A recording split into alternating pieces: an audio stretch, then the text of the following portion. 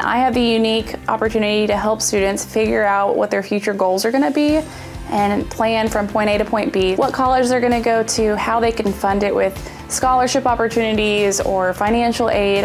I'm here to help the parents as well. I'm open and I'll talk to you about my own personal struggles and I wish I would have known this is how you do it. So there's not just one way to get to your future.